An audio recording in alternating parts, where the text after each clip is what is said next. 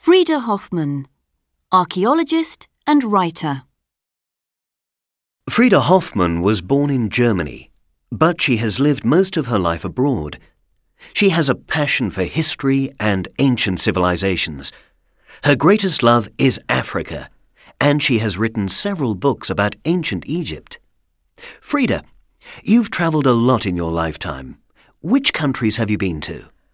Well, I've been to a lot of countries in Africa and Asia, but I've never been to South America. When did you first go abroad? When I was six, my family moved to England Why did you move there? because my father got a job as professor of history at Cambridge University.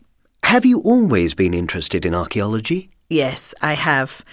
When I was 10, there was an exhibition of Tutankhamun, the Egyptian king, in London.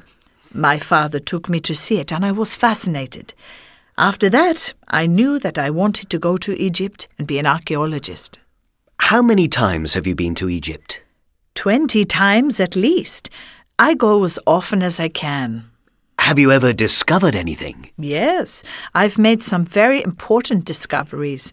I was the leader of a team that discovered some ancient tombs near Cairo. You've written books about Egypt, haven't you? How many books have you written? I've written three about the pharaohs, and I've written a book about a journey I made from Cairo to Cape Town. How did you travel? By train? By car? In a Land Rover, of course. In all your travels, have you ever been in any dangerous situations? oh, goodness, yes. I've often been in danger. But in situations like that, you learn so much about yourself.